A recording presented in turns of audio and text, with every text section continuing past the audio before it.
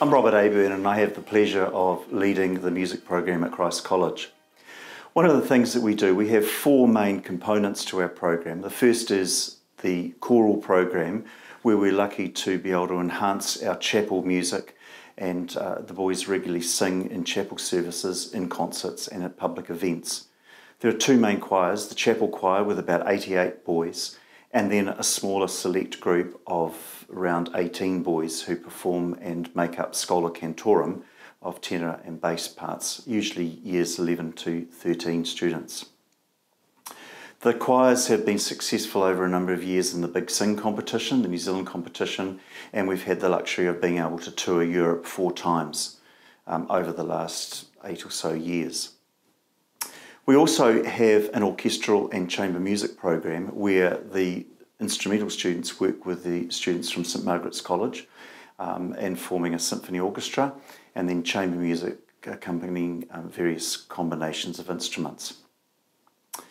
The other aspect that we have is, is a very strong big band and jazz program where the boys work um, regularly, um, compete highly successfully at the Southern Jam competition in Blenheim, and uh, also work in small combos. They perform in public events um, and are before the school and are usually very, very successful. The final one is the contemporary program where we have tutors come in and this year there are some 18 rock bands whereby they are writing their own music, creating their own music, they perform live and they also record and put works up on Spotify. One of the pleasures that we have at college is being able to attract incredibly talented staff to tutor the boys and to train the boys in the various instrument and voice. In most cases, the members are professional musicians. Many are members of the Christchurch Symphony Orchestra and have highly successful professional careers behind them.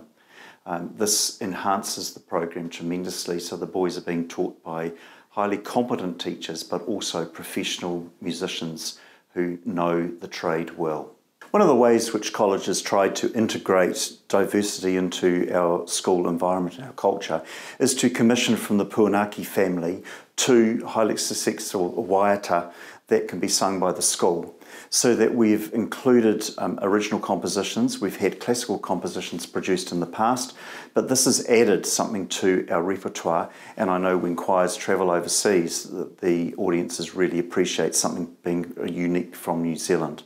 Um, we included one as part of the carol service last year, and it was received with great warmth and affection.